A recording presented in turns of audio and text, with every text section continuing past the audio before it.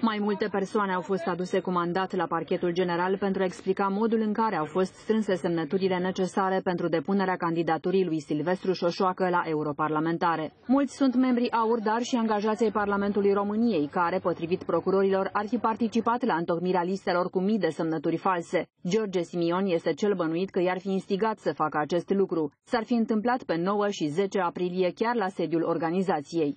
50 de membri ai acestui partid ar fi fost chemați de George Simion și ar fi uh, falsificat aceste liste de semnături. Ar fi luat, uh, susțin procurorii parchetului general, date reale uh, de identitate ale unor cetățeni și ar fi falsificat semnăturile. Pentru că nici așa nu erau strânse cele 100 de mii de semnături necesare, atunci membrii AUR ar fi fotocopiat o parte din aceste liste.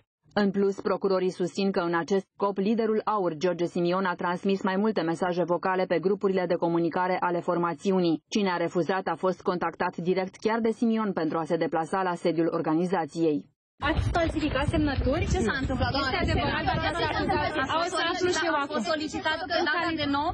E un atac la adresa la adresa AUR, da, adresa AUR, la adresa lui liderul Simion. Au fost aduși ca martori mai mulți colegi. Eu reprezint unul dintre colegi. Este într-adevăr foarte ciudat cum vine acest dosar cu trei zile anterior datei alegerilor. Într-o postare pe o rețea socială, George Simion acuză acum faptul că prin această acțiune se încearcă scoaterea aur din listele electorale.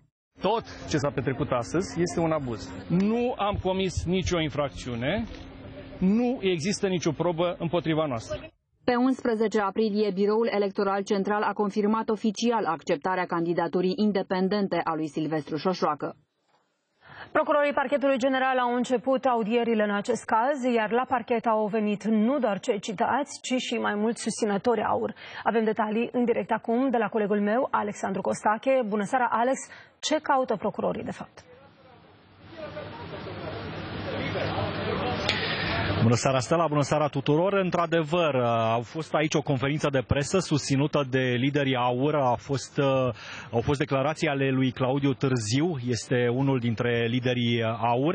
Uh, de asemenea, a fost un meeting, mai multe sute de persoane, membrii AUR, au venit aici la parchetul general pentru a-l susține pe George Simion. Au plecat de la parchetul general și în fața sediului SRI pentru a protesta, apoi la autoritatea electorală permanentă. Spun ei că este un abuz uh, acest dosar, un abuz împotriva liderului AUR uh, George Simion.